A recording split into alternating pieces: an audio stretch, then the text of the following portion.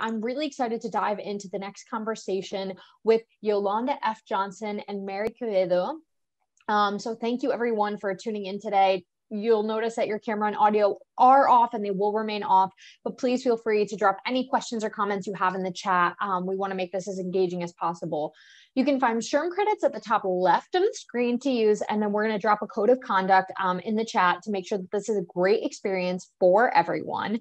And so um, I am just going to hand the mic right over to Mary um, so that I don't take up any time with any intros and bios. Uh, so uh, I will hand the mic right over to you, Mary, and uh, thank you so much for being here. And to you as well, Yolanda. Thank you so much for being here. Thank you, Paloma. Thank you, Nicole, for this introduction. And okay, it's my time to introduce Yolanda. I'm so happy to be with you today. Yolanda F. Johnson is the founder of Woke. I love the pronunciation, by the way. Uh, it is, sorry, Woman of Color in Fundraising and Philanthropy. And you are also the founder of Allies in Action member Membership Network. Let's start with this conversation about telling us about your journey from fine arts to fundraising and philanthropy. Well, um, it's a pleasure to be here today. You can hear me fine, right? Yes. okay. Good. Good. Good. Um, thanks so much for having me. And my journey, I look at life as something um, that I call crafting a life. And so I really ascribe to the thought of being able to find outlets for all of our talents. I call it my treasure trove of fabulousness. I always tell women that they have that little Mary Poppins bag. They can pull out all these gifts and talents and uh, accomplish all of their dreams and their goals. Um, and I think that we're all so multifaceted. We have so many different uh, gifts and perspectives on life and work um, that we can find a way to weave that ribbon through everything uh, that it is that we want to do eventually. And so for me, um, when I was studying, I, have always done both ever since my senior year in college. Actually, it started because I wanted to make sure that the arts survived from a business perspective and from an administrative perspective. Uh, I'm a lyric soprano, and so I ended up throwing the first School of Music gala back as an undergraduate before I was even out of college. Um, there was an epidemic of orchestras closing, uh, shutting down because of fiscal mismanagement. You had perhaps musicians who were moonlighting as executive directors who didn't quite understand the financial side of things and what needed to happen to keep the work moving forward. And so um, that impacted me as an artist.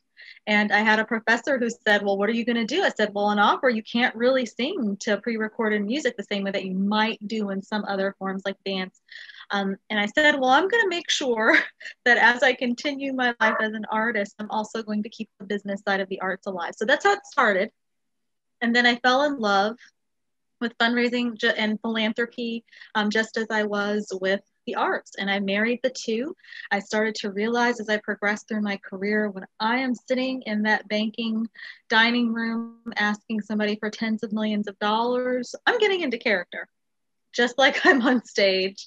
Uh, so I called upon all of those performance skills and tied them together. I have workshops that I do that use performance practice or philanthropy. Um, so that's how I brought the two together. And I've never not done both. They've both had an equal role in my life. If one was missing, there was something missing in my life. And so it never has been a day job sort of situation. I was able to marry passions in a really beautiful way. It is so inspiring. Actually, yesterday I was listening to your music. It's amazing. I Google you. you. Liked I, it. I love it. I searched for you on YouTube, and your music is amazing. And I had a lot of questions about how you you came from, uh, how you started your career, like when it every, when everything began, how you started.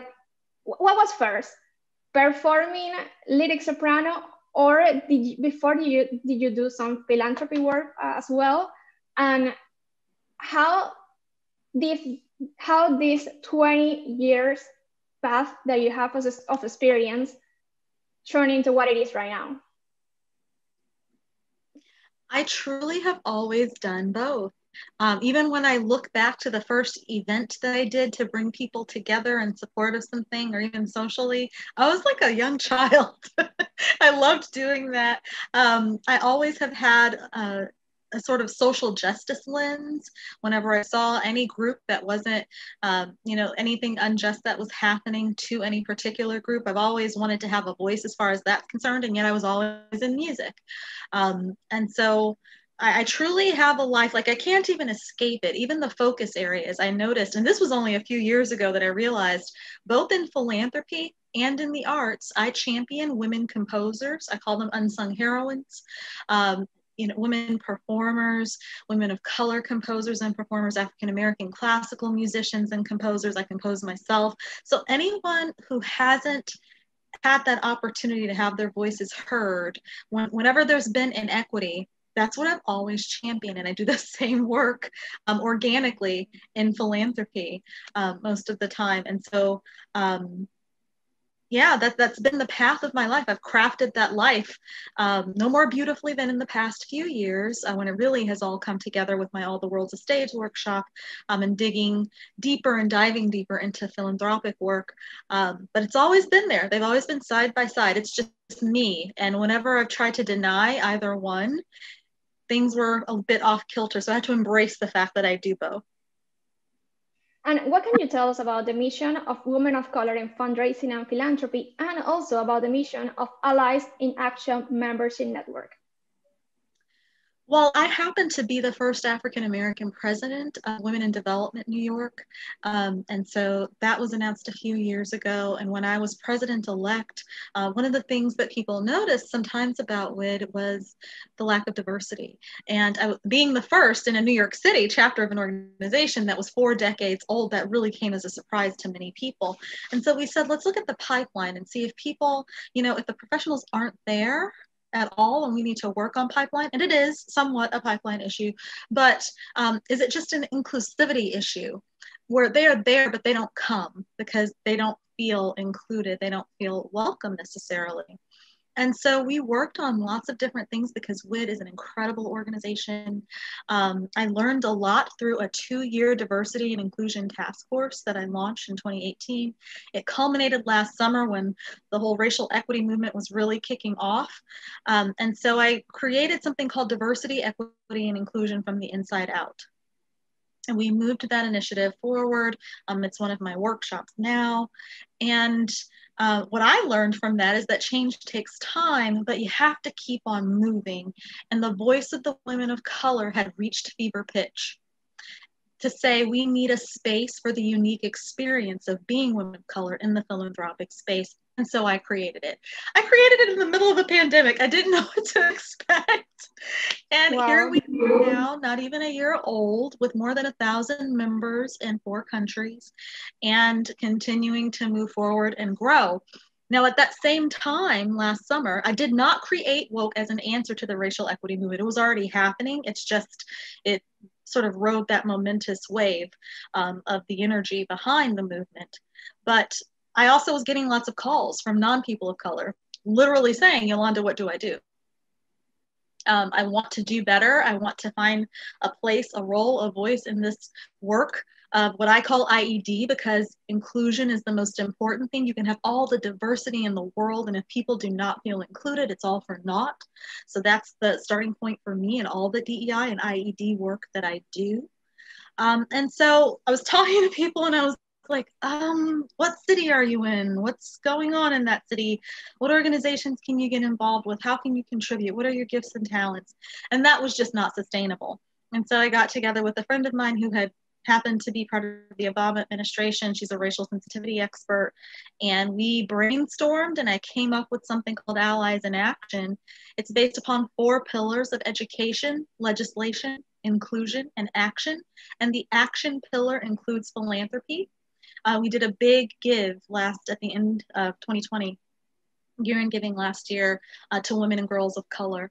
And so um, that's how both of these came to fruition. Wow, it's wonderful. And how is Woke supporting women of color? How are you bringing this woman into the fundraising and philanthropy work? Well, we're providing a space for community. Um, I've been in tears many times when people have said, you know, with the whole WID situation, they were like, I finally see someone who looks like me at the helm. And with Woke, it's just been, I needed this space to come together with different women of color. Um, because, you know, even within the women of color community, there's work to be done uh, with solidarity and allyship and standing together with each other, even with our different groups.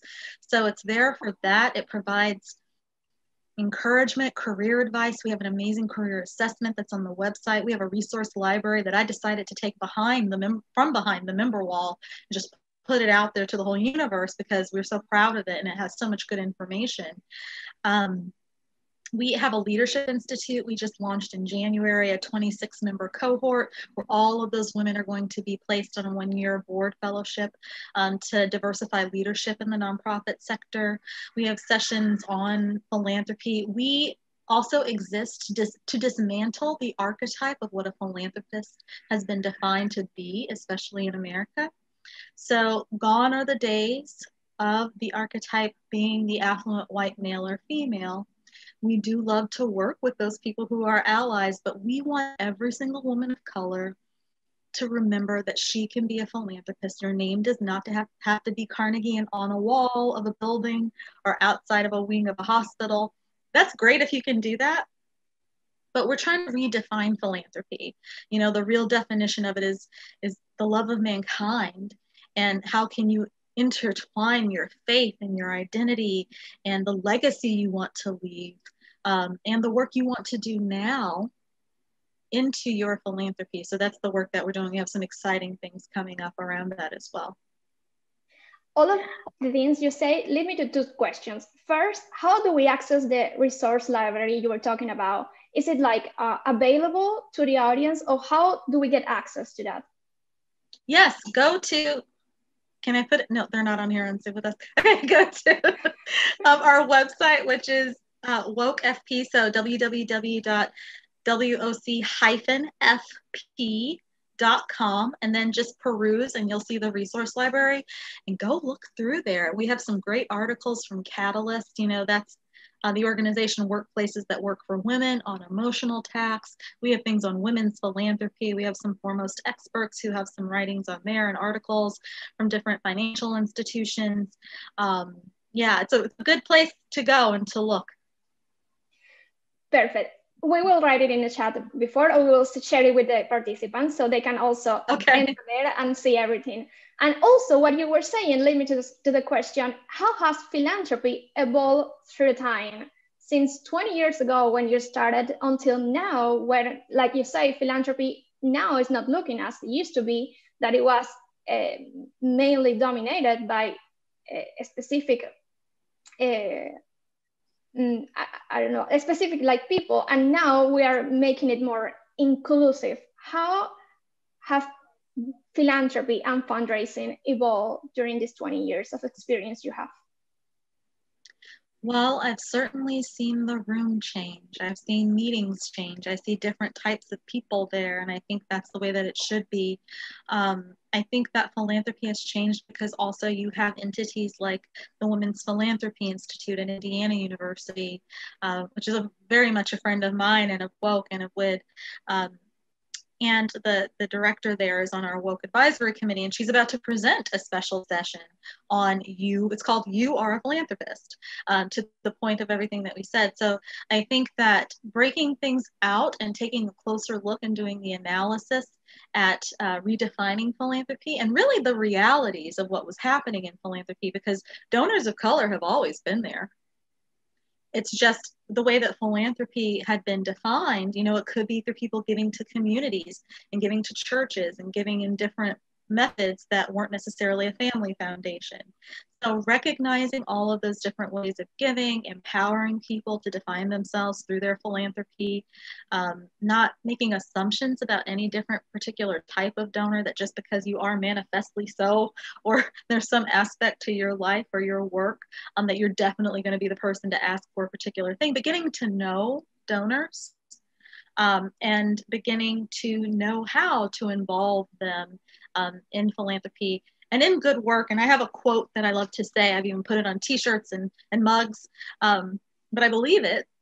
And it's that the people in fundraising and philanthropy are, are beacons of light and hope who are illuminating the path to the good work that needs to be done. So I think everybody should be be proud of that. Now we know more about women. You know, Women Give. The report comes out every year. Uh, this year was really interesting. It was about how couples give and the the trends and patterns for women in their philanthropy. Uh, they have a di- we have a different way of giving you know, in certain ways. Um, so just to understand that about all the different types of donors and to create those opportunities for them to find ways that are meaningful, meaningful for them to be able to give back. I've seen that happen a lot in the 20 years. I actually that, that quote you, you say I read it on your website and it was beautiful. I had it as part of a question for almost the end of the interview, but I'm glad that you already mentioned it. And also, I wanted to ask what are some of the challenges that nonprofit organizations run by people or women of color face today?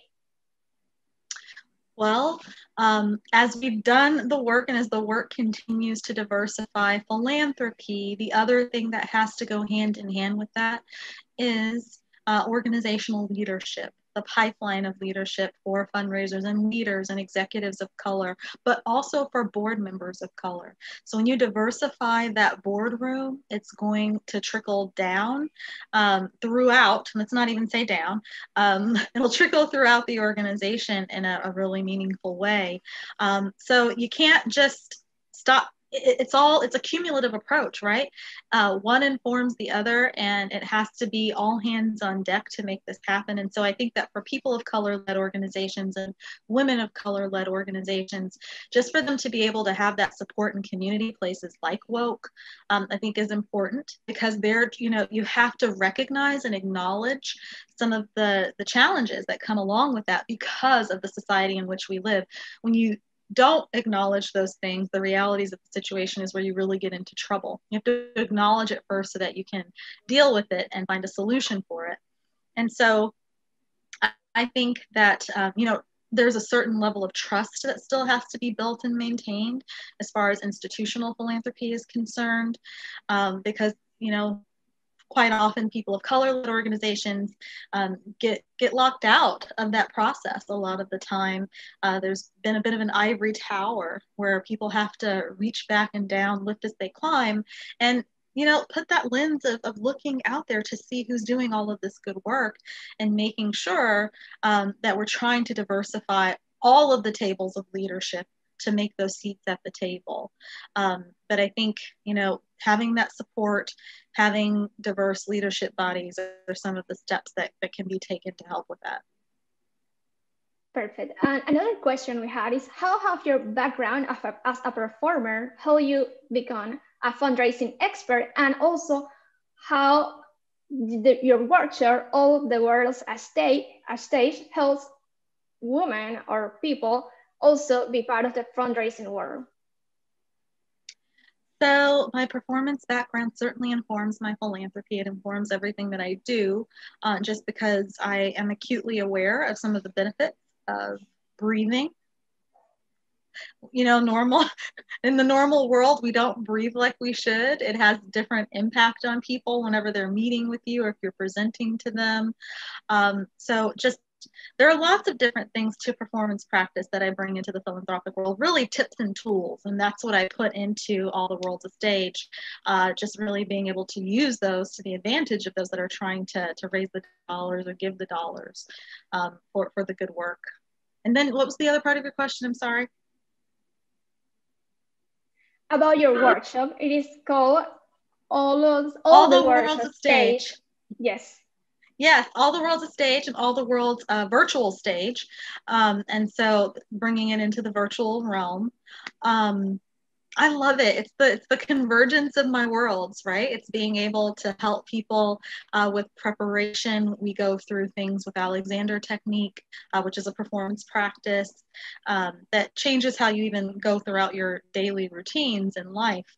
Um, how to pivot uh, so yeah, lots of different tips and tools and things and skills that that you can bring to from the performance world. I mean, really, all the world is a stage. It really is. uh, you've got a, a stage backdrop behind you with your Zoom background. And I love this tree. I just have to always make sure it doesn't look like it's coming out of my head. But, you know, all these things matter whenever we're talking to people and communicating. And, um, and so I just love to help people uh, through that process. Oh, we also have some questions from the chat, so I'm gonna ask them right now. What's your what's been your biggest source of inspiration or the thing that keeps you logging in each, each day? My biggest source of inspiration is that I sit in absolute gratitude for the opportunity to lead all of the amazing women that I do and to be able um, to help in whatever way I can and also to um, help communities that I lead to identify some of the issues and challenges that are at play. Um, so that we can tackle them and come up with solutions for them and real solutions. I am a dreamer. I'm a pragmatic optimist. Um, I'm a dreamer that likes to put things into action. Um, and so I have to catch myself on that sometimes. But, you know, I'm, I'm inspired by the people around me. I'm inspired by my faith. Also, these things, you know, conversion are very important for me to help things move forward. And another question we have from the chat, from the chat is how can we, women of color, start working in fundraising and philanthropy, especially coming from a different field of expertise? Well, good news for you because there are a whole lot of people. I mean, COVID has really created this interesting environment everywhere, right? People are reevaluating their lives and they're going back to what I said at the beginning of crafting a life. What is it that I want to be doing? What legacy do I want to leave? What do I want to even experiment with professionally in my life? And how do I do that? And so we see people leaving the nonprofit and philanthropic realm going into the corporate world we see the opposite happening as well so i think that you know there are lots of different access points and entry points that you might um, consider First of all, educate yourself and get involved with the community.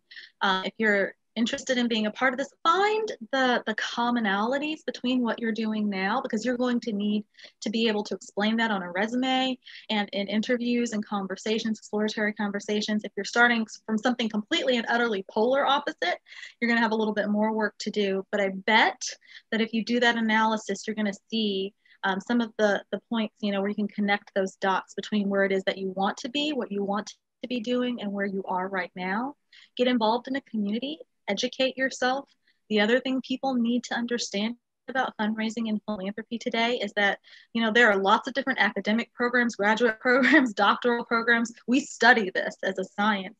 Um, it went from being something that was kind of haphazard in the early 80s to a very very real thing that people there's a danger in thinking that oh i can just go do that in the nonprofit realm. You have to respect the craft and understand that uh, there are a lot of people who who know a lot about it now so you just have to educate yourself get a community and be really honest, do that self assessment of where you are now, where you want to be, and how you get there. Perfect. We don't have much time yet, so I want you to talk to us about your singing career, about your album, and where can we hear your music? Oh, you can hear me on YouTube and Amazon and everywhere that music is sold. I think you can find. I, I specialize in spirituals and the Underground Railroad. Um, my website's under construction, so that'll be back up soon with some other clips about women composers and just regular opera that I've done. Um, but yeah, COVID's been a weird time for music. so, um, but but we shall reemerge and do more. I just got an offer today to do a, an outdoor summer festival this summer. I don't know if I'll do it. We'll see if everybody wears their masks. But um, yeah, so you can just you can find me online. Stay in touch one more questions. I don't know if you can answer it with so little time, but I want to ask, how do you balance your different facets? How how do you do with your time? Like, how do you go from eh, working and in Vogue, also being the president of YFJ Consulting, and being an active lyric soprano? Uh, I'm very efficient, and um, I love to be able to focus on a different thing at a different time. So with my consulting practice, it has four pillars. We do IED work, DEI work, um, philanthropic counsel. So if you have funds that you want to give and you want to figure out how you want to give out that money and establish your legacy, we help coach philanthropists as far as that's concerned. We do fundraising strategy and we do events. And so then I've got the music and the other things that I do. I would be remiss if I did not give my team, I know some of them are on right now. I would not be able to do any of it without the incredible women on my team. Um, so I love you all. I appreciate you all, and I thank you all. Um, so really, it's having a great team that you can trust of talented people who are around you and being efficient and knowing that you can't do everything at the same time. So you have to prioritize and uh, and pace yourself to know what's coming when, so that you can be present and enjoy all that you're doing. Amazing. And can you give us one piece of advice to encourage us to do more fundraising and philanthropy work? Um, think honestly about, you mean from a personal perspective? Yes, exactly. Yes. What what matters to you? Think about what matters to you and look at what you have to give and find the ways that resonate with you and that are meaningful for you. And it doesn't have to be thousands of dollars, just whatever it is. And even when it doesn't come to dollars, think about your time, think about uh, your talents that can be contributed to an organization or an effort that really translate to, to helping the bottom line. Uh, you know, they may not have to hire a different consultant or a person to do something because they have you there as a volunteer. But think about who you are and how you want to live out that good work. How can you help the greater good? And then just start from there. Do some Googling to try to figure out what that means. Perfect. Thank you so much for your time. And please tell, tell us where we can find you. And thank you so much for this conversation. Thank you. You can find me at wokefp.com and you can find me at yfj-consulting.com or yolandafjohnson.com. I live in three different places on the internet, but they all connect with each other. Perfect. Thank you so much, Yolanda. It's been amazing talking to you. Thank you for having me.